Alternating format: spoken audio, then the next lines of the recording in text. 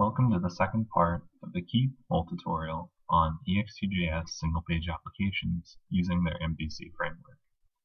In the previous tutorial, we talked about the overall structure of our single-page application, and in this tutorial, we'll go over the code that is actually used to power the single-page application. So as you can see here, I have a grid, and within that grid, I can edit a window.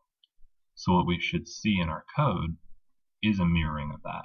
We'll have a view for my grid, a controller for my grid, a view for this edit window, a controller for the edit window. We'll also have a file for the model that is used by both this interface and the grid, as well as a store that creates essentially an array of those models. So if we switch over to our code, we can see this mirror structure perfectly. As far as the grid, that is encapsulated by this controller. I can easily tell this because I see references to edit, add, and delete, which were all the buttons that were on my grid. My form is encapsulated by form controller, and I can also tell this because there's the save, cancel, and form panel. In an EXTJS controller, when it has a view that is used to represent it, you'll often see this refs. Refs is a way for our controller to grab a view component and bind some sort of functionality to it.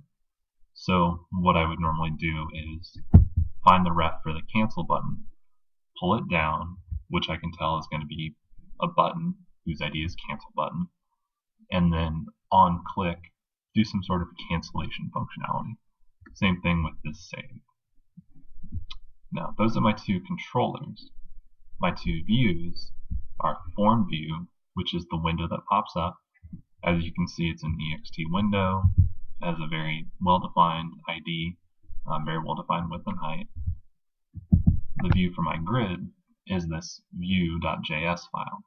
And I can also tell it's that because I see an ext grid panel as the class that it's extending. When you create classes in EXT, you'll often be extending classes that already exist within the EXTJS framework. I mentioned that my grid is an EXT grid panel. I want my view to have very specific properties of the grid panel. For instance, I need it to have these specific columns. I need it to have these specific buttons on the top.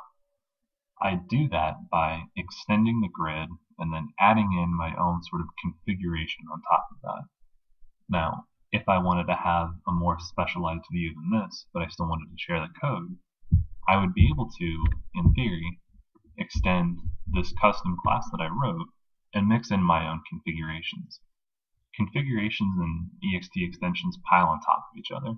So if I just had an extension of this class and all I specified was a different width, it would inherit all of the properties of its parent, but just changing whatever it itself specified.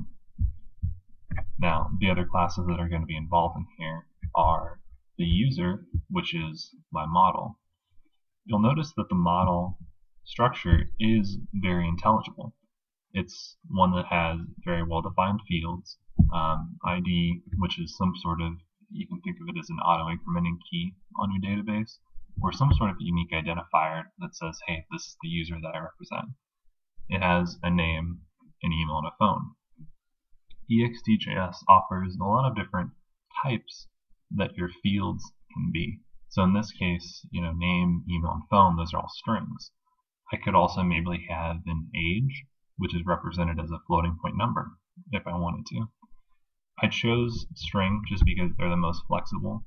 If you don't specify a type, EXTJS will do an auto type to where it'll just store in whatever data the middle tier or your endpoint gives it.